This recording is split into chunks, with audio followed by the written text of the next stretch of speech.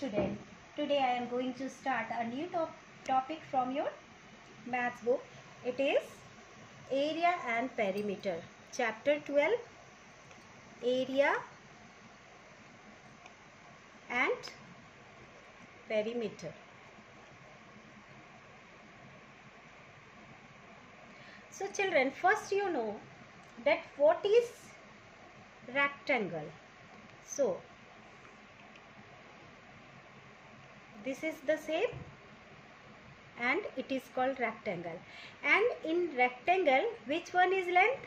So it is length and it is breadth. Okay. In same square have four side. So what is area?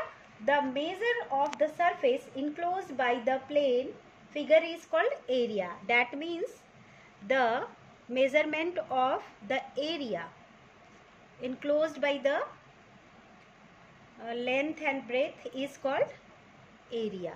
So this is the portion is this portion is called the area of rectangle or this is the area of square. Okay. Now first you know that what is the formula of area of rectangle. So, here I am writing, you note down it. Area of rectangle.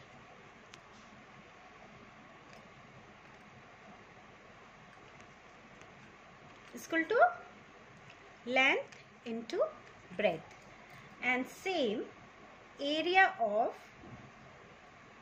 square is equal to side into side. Okay, children, first you note down this two formula in your notebook. Now, so children, without wasting my time, I am going to start exercise 12.1 from your textbook. So look carefully in your textbook. Number 1 is take the figure which has greater area. By seeing the picture you can find out which one the greater one. Okay. Because the area enclosed by the length and breadth or line is called area. Eh, area.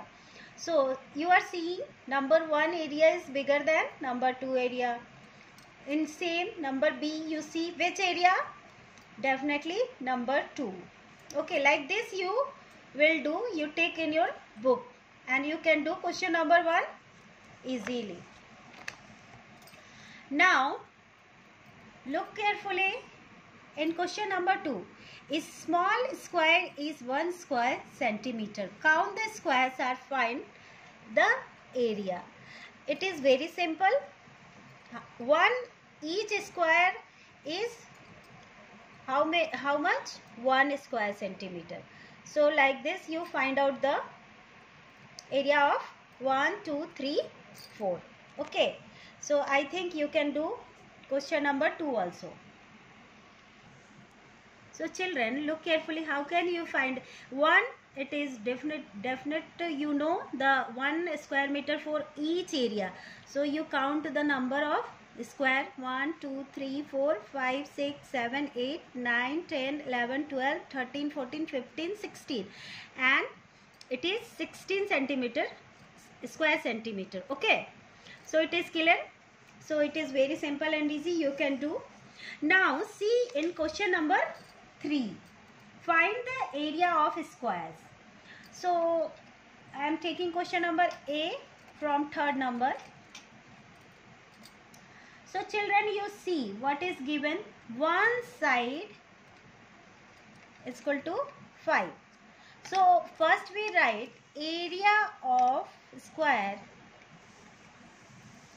is equal to side into side. So how can you be write 5 into 5. So it is 25 centimeter square. Okay. Now same you will do question number b c d. And after that look carefully in question number 4 it is the same thing find the area of following rectangles. So from this i am taking question number b. So length given is 10 centimeter and breadth is given 3 centimeter. And area of rectangle is